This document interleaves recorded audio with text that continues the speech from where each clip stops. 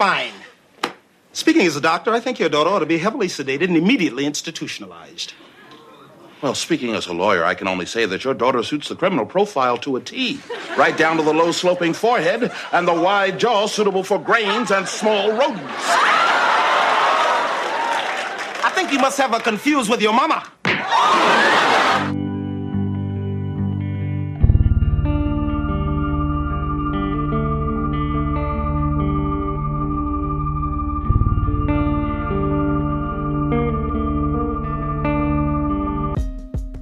Thanks for watching. If you like this video, check out these other videos from USA Today to stay up to date with all the latest news.